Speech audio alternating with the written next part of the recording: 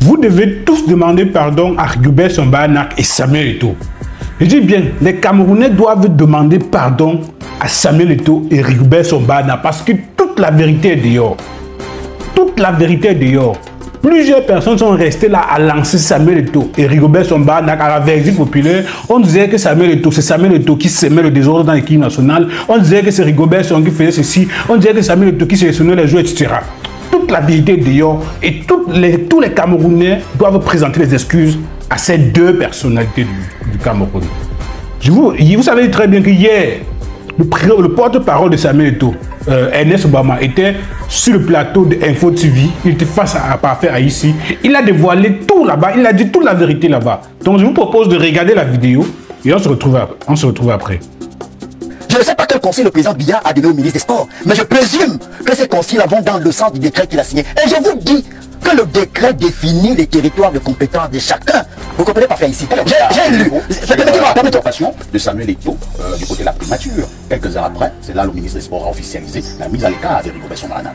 Je pense que parfait ici, je, vous le dis encore, que le- la- l'annonce faite par le chef de l'État, on, ne, va pas la commenter. Et moi je vous dis que je connais, parce que je, suis journaliste politique, et j'ai eu le bonheur et la chance de voyager avec le président, le président de la République, son excellence Paul Biya, je sais qu'il est légaliste au bout des doigts. Et il ne peut pas donner une instruction qui est contraire à la loi. Je présume que l'instruction qu'il a donnée sera en phase avec le décret que lui-même il a signé le 26 septembre 2014. Le président de la Fédération camerounaise de football a été, euh, euh, je ne sais pas si on peut appeler ça euh, convoqué à la, à la primature. Parfait, ici vous devez savoir que à la, à la, primature, les consultations se font régulièrement à la primature entre le ministère des Sports, la Fédération camerounaise de football. Voyez-vous, même le circuit des budgets, quand il y a une compétition, le budget est préparé par la, coordination des équipes nationales de football du Cameroun. Coordination envoie le budget au ministère des Sports. Le ministère des Sports transfère le budget à la primature. Parfois, la fédération est convoquée à la primature pour expliquer le budget. Donc, ce n'est pas comme si M. Eto'o avait déjà fait un an, deux ans sans aller à la primature. C'est une consultation qui est régulière.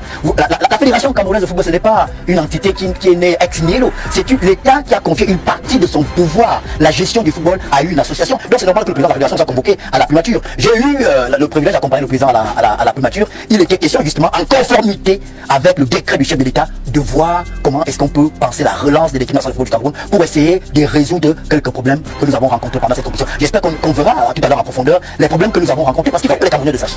Et les Camerounais doivent également savoir autre chose. En préparant cette émission, je suis quand même rendu compte que euh, le président Samuel Eto'o a communiqué il y a quelques jours du côté de la chaîne française, euh, France euh, 24, il annonçait qu'on aura maintenant droit à un entraîneur expatrié.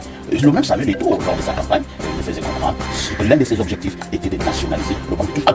Est-ce que M. Eto'o pas en contradiction avec lui-même Je ne sais pas si on a fini avec la canne, parfait. Ou bien on, va- on- on va revenir euh, parler de la canne parce qu'il y a des. des- Nous en reparlons. Alors, je, je vais vous dire. Parce que la, la question euh, du coach est primordiale. Il n'y a pas de souci, mais posons les questions parfaites. Je vous écoute chaque jour à 10 heures. Oui. J'entends que ce que vous dites sur Rigobert Song. Je- je- parfois, je, je me demande si euh, c'est le, le même Rigobert, le même Rigobert Song que moi je pratique. Je préfère dire pratiquer que je, je fréquente. Mais quand vous, vous passez à la, au, au Moulinex, je ne sais pas si on dit la Moulinex ou le Moulinex, je me, je me trompe peut-être. Quand vous passez régulièrement à la machine, il est régulièrement brocardé, l'entraîneur camerounais. On a pleuré ici, on a claironné, on a toujours dit qu'on voulait un entraîneur camerounais. Monsieur Eto'o est venu contre vents et marées, il a choisi un entraîneur camerounais qui nous a qualifiés pour la Coupe du Monde. Un entraîneur camerounais qui a eu une, une victoire historique. Première fois dans l'histoire du monde et du football qu'un pays africain vient à bout du Brésil à la Coupe du Monde. Permettez-moi de continuer par faire ici. Il qui nous a qualifiés pour la Cannes. Voyez-vous, parfois on n'a pas été qualifié. Mais comment voulez-vous qu'il ait encore les coups de France pour prendre encore un entraîneur camerounais? Voilà la réalité voulez- d'Eto'o, vous allez chercher. Et monsieur, monsieur Etienne ne vous a pas encore dit qu'il ne prendra pas un entraîneur camerounais. Il a dit qu'on va chercher un entraîneur à l'international. Il y a les, les entraîneurs camerounais qui sont à l'international, mais c'est parfait ici. Ça, si vous croyez que les entraîneurs camerounais sont seulement au euh, Vous êtes en train de jouer avec les mots là. Je ne joue pas avec les mots, je vous dis ce qui est, parfait ici. Je vous dis ce vous qui êtes est. camerounais, vous n'êtes pas camerounais. Vous, vous- savez, c'est c'est nous, parfait. On peut avoir des bonnes intentions, mais si chaque fois ces intentions se heurtent à la mauvaise foi, si ces intentions se heurtent à ceux qui ne veulent pas, qui sont qui ont un esprit rétrograde, qui ne veulent pas l'évolution, qui sont contre le professionnalisme ou la professionnalisation du football camerounais. Les entra- il y a des entraîneurs étrangers ailleurs. Et Mersfa, il vient de gagner la canne avec la Côte d'Ivoire. Pour que Aliou gagne, il a, il a attendu, les gens ont été patients. Les victoires se construisent, on ne gagne pas en une journée. Et puis regardez la cadence des entraîneurs à l'équipe du Cameroun. On prend les étrangers, ils ne sont pas bons.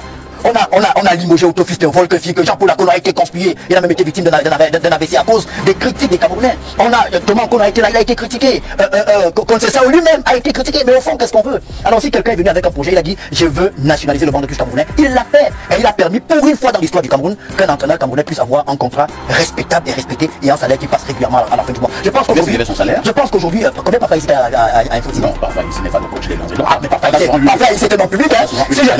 Si j'avais sur Internet, je véritable salaire de. Par- garder Parfait, le parfait. salaire ici- un nom public, comme Rigaud Berson. S'il y avait- sur Internet les tap- salaires de Patrick Favre d'abord, ou de salaire de euh, monsieur. je vous ai garanti qu'on devait encore parler de la canne. Oui, allez-y. Il faut dire aux Camerounais, oui, parce qu'on a entendu Lesquels pour sortir de cette canne, pendant cette canne, avant cette canne, pour vous, quelles sont les véritables causes d'échec de notre équipe nationale? Je compte la Côte d'Ivoire. Le non-respect du décret du chef de l'État. C'est-à-dire quoi? Le non-respect du décret du chef de l'État. Le décret du chef de l'État est clair, il fait ici.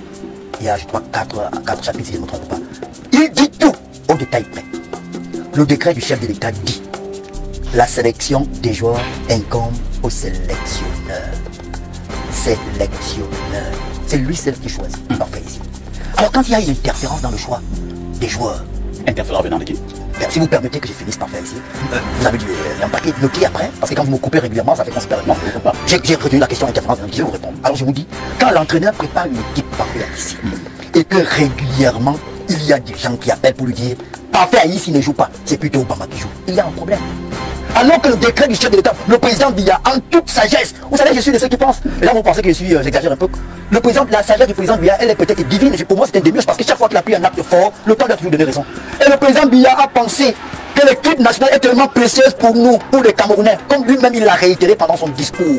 C'est pour ça qu'il a pris un acte fort. Le décret numéro 2014-384 du 26 septembre 2014, c'est le point archimédique ou archimédien du fonctionnement de l'équipe nationale du Cameroun, des équipes nationales. Si on le respecte, si chacun reste à sa place, il n'y a pas de problème. Alors je vais vous dire, quand l'entraîneur prépare une compétition et qu'il y a des influences extérieures, il perd son autorité. Vous voulez faire comprendre aux Camerounais l'on influençait Rigobert son Je suis en train de parler. Par- Laissez-moi terminer par vous avez posé toutes les questions possibles. Quand l'entraîneur, il y a des, des- des influences extérieures, il y a un problème. Et on marche sur le décret du chef de l'État. Ça, c'est un. De deux, dans un groupe, parfait ici, dans une équipe de football, ce qui compte, c'est le groupe. Ce ne sont pas les individualités. Tout à l'heure, je vous ai pris un exemple. Emers Faye.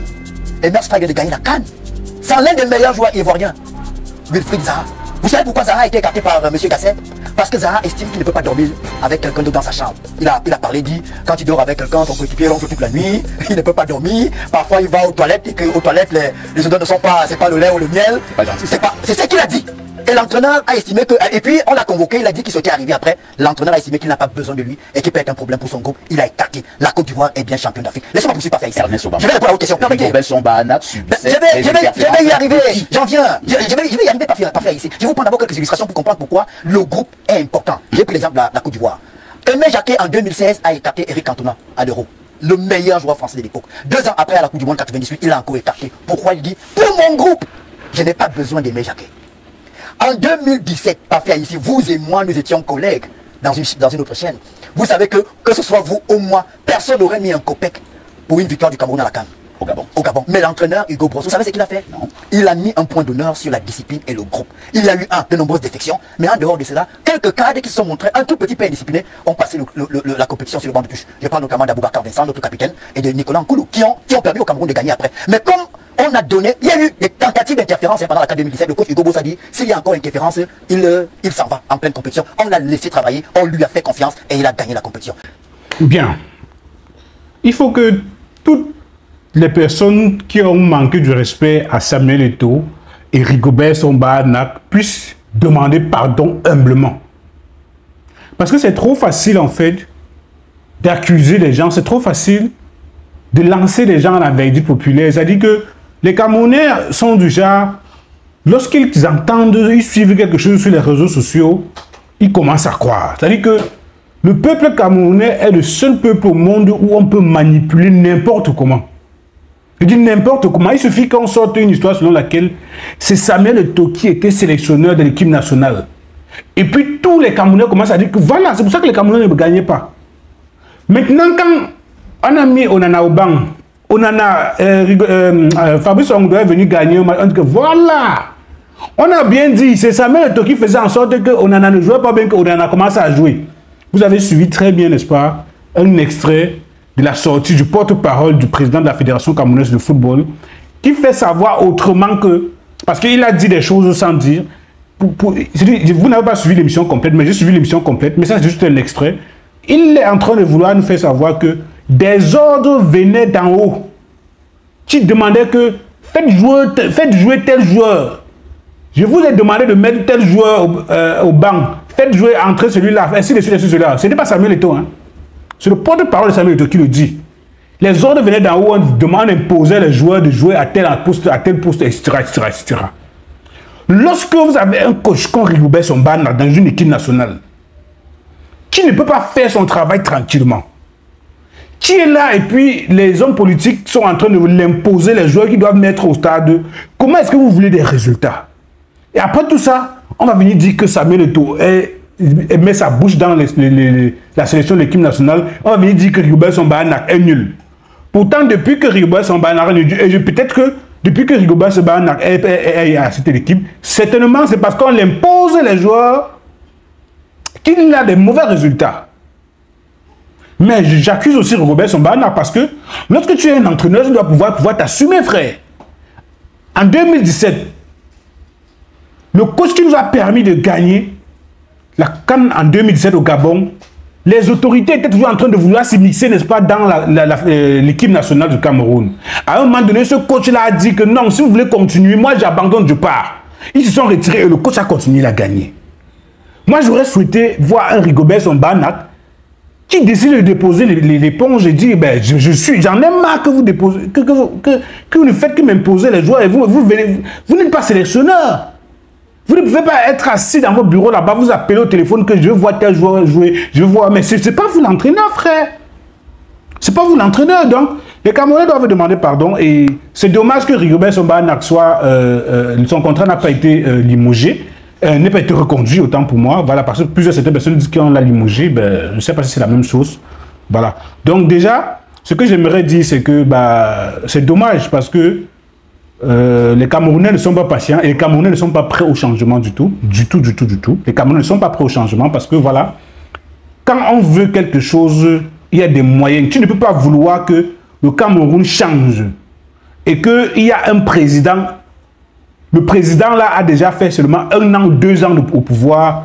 Tu commences à lui réclamer ce que le président, son prédécesseur, son prédécesseur n'avait jamais eu à faire. Il faut être patient. Lorsque nous voyons, n'est-ce pas, les jeunes se battre pour pouvoir faire avoir des changements dans ce pays, et on voit toujours les Camerounais lancer la vertu populaire, on se pose la question de savoir si les Camerounais sont réellement prêts au changement qu'ils sont en train de demander. Parce que vous, les Camerounais, vous ne pouvez pas être en train de demander qu'on veut que à l'équipe nationale, on traite bien nos joueurs, on fait ceci. Lorsque vous avez quelqu'un comme le président Samuel Eto'o qui est en train de tout faire pour donner, pour redorer l'image du Cameroun, du football camerounais à l'international, c'est toujours vous, les Camerounais, qui sont en train de lancer la vertu populaire. C'est toujours vous, les Camerounais, qui sont en train de dire que, sans preuve, hein, qui sont en train de dire que c'est lui qui est en train d'imposer les joueurs à l'équipe nationale. C'est lui qui ne veut pas que tel joueur joue, c'est lui, c'est lui, c'est lui. Vous avez suivi Rigobert euh, Obama. Il y a les hommes, politiques qui ont demandé, qui imposaient les joueurs. Et il n'a pas voulu citer les noms. On ne sait pas qui c'est. Donc, si vous voulez le changement dans un pays, si vous voulez le changement dans une équipe, il faut tout faire pour pouvoir accompagner, n'est-ce pas, les gens qui sont à même de vous amener vers ce changement-là. Il faut être patient. Vous ne pouvez pas arriver dans un football où on a détruit le football pendant plus de 20 ans et quelqu'un vient en deux années, trois années, vous lui réclamez les résultats de quelqu'un qui... Mais ce n'est pas possible. Donc le changement que vous voulez à la tête du Cameroun, là, Lorsqu'un nouveau président viendra et il fera peut-être deux mois ou cinq mois ou un an ou deux ans, vous allez commencer à lui réclamer quelque chose que son prédécesseur n'avait jamais eu à, faire? Non, cher Camerounais, il faut que... On sait que Samuel Eto'o commet des erreurs. Euh, Rigobert Somban n'a pas eu vraiment de résultats, mais il était question qu'on ait un, entraîneur du Camerounais et que voilà, il puisse avoir conduit les troupes, n'est-ce pas, euh, de l'équipe nationale à bon port. Il y a eu de mauvais résultats. Et les mauvais résultats, c'est comme ça que, n'est-ce pas, lorsqu'on veut construire une équipe nationale, ça commence toujours comme ça. Donc, il faut être patient. C'est dommage qu'il ait déjà été limogé, mais je, souhaiterais vraiment que on reconduit, on, prenne toujours un autre entraîneur camerounais pour pouvoir. Parce que si on prend un, un expatrié, ce sera toujours les mêmes résultats. Blanc, bonnet, bonnet, blanc. C'est comme ça. Merci et à très bientôt.